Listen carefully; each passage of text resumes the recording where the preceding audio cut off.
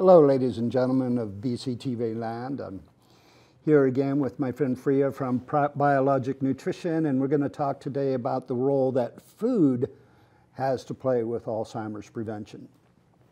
I had the opportunity to take a class uh, through the Alzheimer's Research and Prevention Foundation, and they had four pillars of Alzheimer's prevention. And the first one, okay, was diet, all right? Uh, the second one had to do with uh, reducing stress through a meditation, which we'll talk about maybe a little bit later on in the program. The third one, which is kind of like my little area of expertise, has to do with uh, physical exercise, uh, exercises that have to do with balance. And then the fourth one is just a, con a continuing socialization, which uh, is suggested very highly in terms of preventing Alzheimer's. But I want to introduce Freya. And Freya, first of all, do you want to yeah. show kind of like what we're going to talk about? Okay, well, uh, what we're going to talk about uh, primarily is diet. Um, I guess that'll be my focus because I'm yep. a nutritionist. Mm -hmm. um, I did bring in some food um, that we will talk about a little later on. So um, this is uh, food that you would find in the kind of diet that's recommended um, I'm trained in the Bredesen method. Um, uh, Dr. Dale Bredesen uh, came out with a book in 2014, The End of Alzheimer's, and that was um, probably the first uh, research trial that showed a reduction in symptoms of cognitive decline in 9 out of 10 people with his program. And um, it consists, uh, the, the core of it is dietary changes, which I'll talk about today, mm -hmm. um, but also, once again, what you mentioned, um, movement, stress reduction, uh, socialization, and also um, a um, gut healing program, basically, an emphasis healing. on the, the importance of the ah. microbiome to health and brain health and so forth. But I understand you have like, you have an issue with aging. Yeah. Right? And, and tell me kind of like how that came about. Well, I, I've done a lot of things in my life. I've, you know, I've raised six kids. I've um, had various odd jobs. But as a, and, and so I came life, late in life to what I feel is my calling or purpose in life. But I do remember when I was about eight years old, I was a weird kid that just was kind of observant I looked at older people and they seemed to be struggling, having difficulty moving, and I just, and, and not always happy, like pained expressions on their faces, and I just thought this isn't right. There, you know, it shouldn't be this way uh, as we age. You know, we should be more vital, and, and in some areas of the world, that's the way it is. People are very active, they eat whole food diets. Happy? they're happy yeah. and they don't um, have the diseases of inflammation that we have, basically because we're eating an incredibly inflammatory diet. So getting back to diet. Um, but something happened to you. Yes, something happened to me. I, I was very much into fitness. Uh, I ate what I thought was a healthy diet. It's, it's, my perspective's changed a lot since then, but I did um, I did get very ill. I had a catastrophic uh, illness. Um, I got botulism from a Botox shot and Lyme disease pretty much at the same time, so I was completely neuro. So two things at once. Yeah, and it just overwhelmed my body, my immune system, and I became completely bedridden. I couldn't, I lay in the same spot on my bed um, for um, six, eight, six to eight months. I literally could not even lift my head. I had to have, you know, caretakers come in and take care of me. I couldn't sit up. Um, the first few months, I was just terrified. I, I didn't know if I'd ever recover. I can imagine. It seemed like it was not going anywhere. After about three months, um, my, my sister came, my, my family carried me down the steps to the car. I'd been up in my bedroom and um, drove me to uh, Richmond, Virginia, where there was a neurologist who specialized in mm -hmm. uh, both Lyme and botulism for Botox shots. And um, uh, she basically told me she didn't know if she could help me or not, but that um, she had found uh, over her years uh, as a neurologist that people who believed, who had a strong faith or belief that they would get better, um, often would. She would. So was there a moment when you kind of like were out of hope, or I was complete, I was terrified. I was just, I, I didn't know what was happening to me or why. And the doctors really didn't have a good answer. At that point, they didn't even know I had Lyme. They ran one test, it came back negative. Later, I was retested and it was, you know, double positive. But so I was on my own. Um, I could not even lift a cell phone. I didn't have that strength, but I laid it on a, tipped it on the side in a pillow, and I just researched and researched and researched. And uh, I stumbled upon the world of functional medicine, which Okay. is kind of a new, uh, an alternate universe. So there's traditional medicine, which my husband is trained in, and it's basically diagnosis and prescription. Uh, and then there's this new world where they start to ask why. Why are these things happening? So it's more of a root cause approach. It's a, it's a realization that rather than, you know, specialty areas of the body, everything is connected, it works together.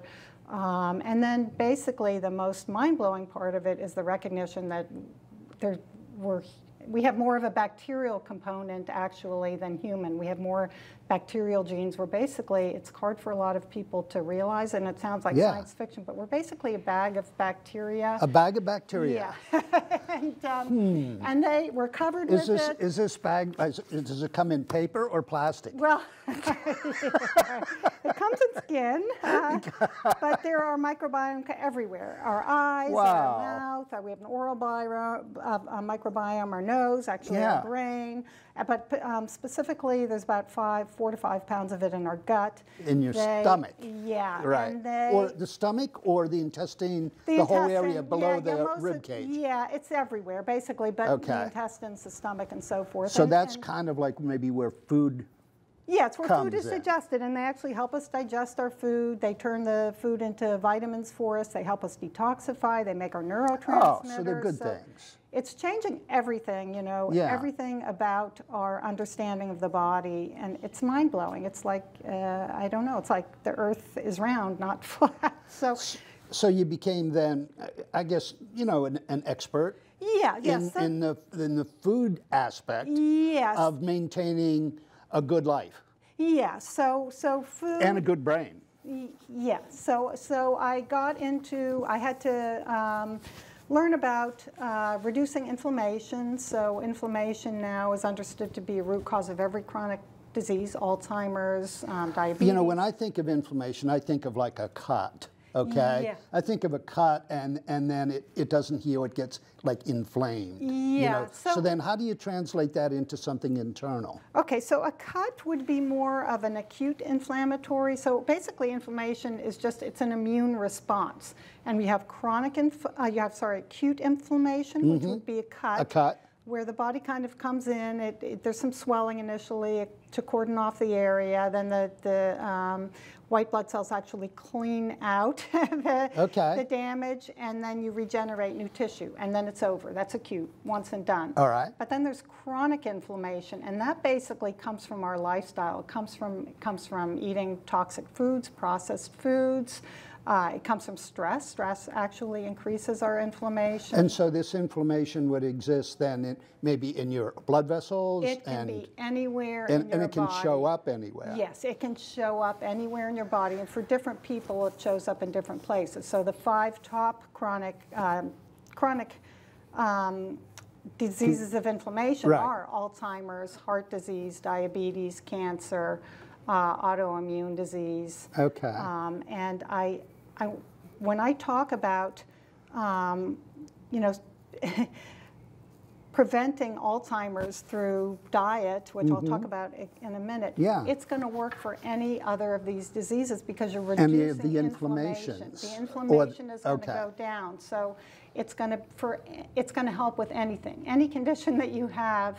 It will help because your immune system becomes overtaxed when the inflammation is Well, that's chronic. nice when you c- can get something that works like across the board. It works across the board. You know? And, and even for things like autism, and it, it's just amazing because autism is brain inflammation, Alzheimer's is brain inflammation. They're very similar and they can be, um, you know, approached in the same way, but also heart disease, cancer, they're all, and Well, Freya, I'm, I'm sitting here and I'm like smelling this and, and like I want a fork, Yeah. you know, but Yeah. I, before we get to that point with a fork or anything like that, show us the food and talk to us a little bit about so- each, each, each of the ingredients. Break it down. Yeah. down. So basically, what I want to say first is that um, to prevent Alzheimer's, um, Dale, and, and reverse it also, Dale Bredesen uses an anti, kind of a gold standard anti-inflammatory diet. And what does that mean? Okay. It basically means whole, real food like we had on this planet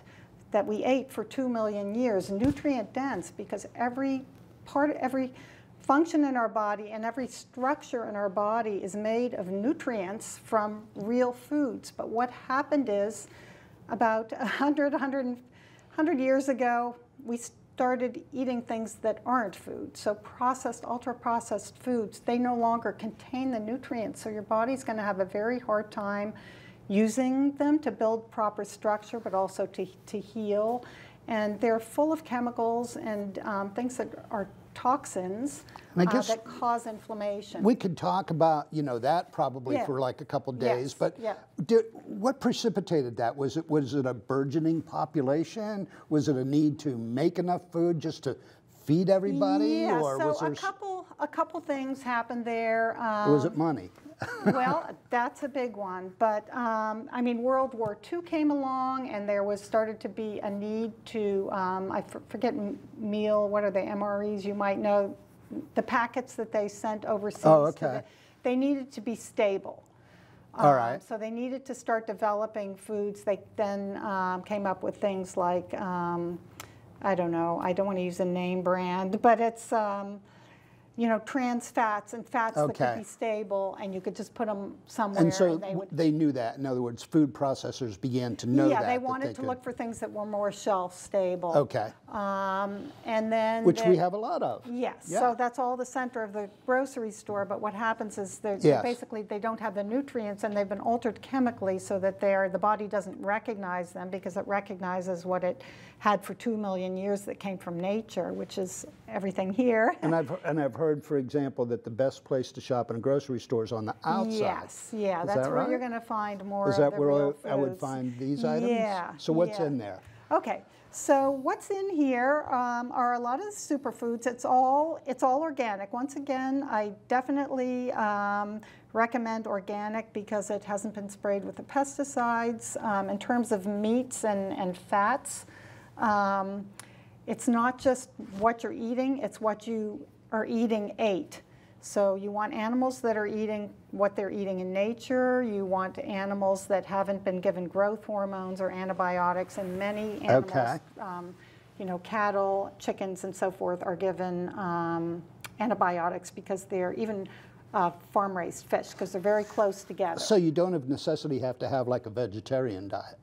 Uh, no, it's more about the quality. So there's, I don't advocate one kind of diet, Mm-hmm. but I do advocate advocate an anti-inflammatory diet, whole foods, organic, um, no sugar, no processed food. Sugar is one of the most inflammatory things that you can put in your body. It leads to insulin resistance, which they now recognize about 90% of the American population has some degree of insulin resistance. Wow. And that is one of the most inflammatory, um, you know, things. Insulin resistance. Yes, insulin, it, it leads to massive uh, inflammation, which contributes to all those chronic diseases, including Alzheimer's. So when, uh, the Bredesen protocol, they put people on a very low carb um, diet, probably even a little lower than the Mediterranean diet, just because um, the insulin resistance plays such a big role in Alzheimer's. So you have to So get people hold that bowl up and. Okay, so here we go. Some of the some superfoods.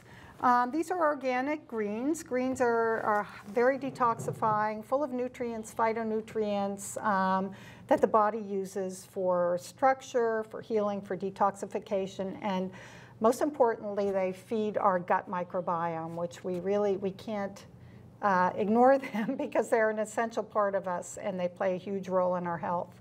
And Um, did this take, did this, in other words, the- when you were healing, Yes. is this what started yeah, that healing yeah. process? I had to get off of the, you know, the standard American diet. Yeah, stop sad. eating the yes, exactly, and um, and also get off of the standard American lifestyle, which was a lot of stress. So Mm-hmm. um, I did find that having the faith and just having gratitude. I when I lay up there, I couldn't move Five minutes. Okay, I couldn't move, but I could listen to the birds, and I felt so Oh. grateful for the beautiful song. I learned every bird, every bird song, but that helped me shift into that healing state, that relaxed um, parasympathetic healing state. So we start, here we have the Um, Yeah, lemons. Yeah. And what's, so what's this is salmon. covered? So Salmon? Oh, underneath is the salmon. So that's um, wild salmon. That's uh, high in omega uh, three fats, which are essential for your brain. So you're seeing this is very low carb, but it's high in healthy fats. There's a recon- recognition that healthy fats are essential to brain health. Um, uh, so once again, the um, organ- it's organic uh, and also um, uh, wild caught salmon. Okay. wild caught is going to be organic. Um, one of my favorite uh, healthy fats is avocado. Um, it's it's full of magnesium and potassium, and um, it's just great for brain health. So I always recommend that to my clients. Um, I have some roasted Brussels sprouts um, with some onion in there. Once again, full of phytonutrients. I roast them in a little bit of um, olive oil. It's easy as pie. You cut them in half. Are you particular about the olive oil that you Um, choose? I am. I, I do like. you can uh, say a brand name on that. Okay, well, I can't even, I, I usually get, you know, something that's, you, you don't want something that's in a clear um, plastic container because Okay. the light, the light damages the oil and Glass. basically, yes, dark glass, and I like extra virgin or organic I get. Um, and they are so delicious, and if, uh, if somebody looks at this and says, mm, where's the bread, where's the, to that I say, it takes about, I run uh, pro, nutritional programs, they last five weeks. It takes about two weeks to three weeks for your taste buds to change, and you can get over bread. I was a carbaholic my whole life. I ate massive quantities Never heard of that bread. I don't expression even- before. Yeah. Carbaholic. yeah. So there's a, C, a CA you can go to? I- yeah, but I, I'm done with it, and I, Okay. I mean, the health benefits are, are the reward. So I feel more energetic. My brain is, is Sharp. so much clearer than it was. I saw both my parents Uh-huh. die of Alzheimer's, so it's a Oh. very serious thing for me. I was worried I was getting it. My brain was getting foggy when I changed my diet. Um, that all went away. That's I- interesting because what, what you're referring to, I think, in the Alzheimer's world is mild cognitive impairment. But then you, you realize that and change things. Yes. And then that changed That's the your. time to do it, when Yeah. you have, before it, I mean, prevention's easier than reversal. They are right. reversing, but prevention's a heck of a lot easier. But prevention generally doesn't happen until you experience a symptom. Yeah, this is true, true. This we aren't true. inclined to like go like Yes. like Alzheimer's actually starts like 20 years before you know that you have it. Exactly, You know, but you're not going to do anything about it But- until But to, to, to that, I say, uh, people, whoever is watching, have a vision for yourself now. you know, which path are you going to take? The standard American lifestyle, it's not going to be pretty. That leads to because because ele- it's kind of like in around like 11 percent. You know, 11 out of 100 people are going to get Alzheimer's. Yeah, and- today. And today, in the world, in the in the in Berks County, in the United in Pennsylvania, in the United States, in the world, the way it's going right now, and there's no cure. yeah, and I want to say But- actually, yes, there's there's a So way we got out. another thing over here above the Oh, okay. I have, or tom- the I have tomato. Um, Yeah. That's organic from my garden, actually. Mm-hmm. And then um, on top of here are broccoli sprouts, which are one of the best Sprouts. top. Broccoli sprouts in particular contain sulforaphane, and they're a superfood. It's one of the most detoxifying Broccoli foods that you can sprouts? eat. Yeah. Do you make them? Yeah, so easy. You just put them in a ball jar uh, with, with some water. You Yeah. get them on Amazon. Put a screen on it every day or two. You change the water. Well, every day you change the water, let it drain out. Yeah. And in, in four days you have. And you have them, and they just grow. Yeah, yeah. They just grow with that. So we have yeah. about a minute left. Okay. If you want to like finish up with something or an idea, or tell people where, where they can get a hold of you, or Yeah, so something um, like I mean, I, I do work with um, clients individually to address um, their health concerns, but I also run group programs um, at Building, I'm running one right now at Building Seven. Seven called uh, Mind Body Renewal. Um, and, and as I said, if you change your diet uh, and get out the, the garbage, you will see results within three to five weeks. I always track people before and after. It's amazing. Some of the side effects of a diet like this better mood, weight loss, better sleep. Um, just feeling better, feeling vitality, inflammation comes way down, uh, mental clarity. Uh, there's, there's more. There's, there's so much People more. feel great when they're done. And, and, and then you have to kind of make it a decision to, to, to, to So- go on a different path So first for of a all, different future for the yourself. food tastes great, Yes, and then you feel great. yes. So what you proceed you feeling great with is good tasting food. Yeah, yeah, yeah, That seems pretty simple. yeah. I It's a win-win situation. I think we might be out of time. I okay. appreciate you know you coming today Yeah. and, and and bringing the food in and. I hope you have a, a wonderful evening. I wish you health, happiness, and prosperity right now, and I'm sure Freya does as well. Okay, thank you. Thanks for having me. It All was a pleasure. All right. Bye, everybody. Bye-bye.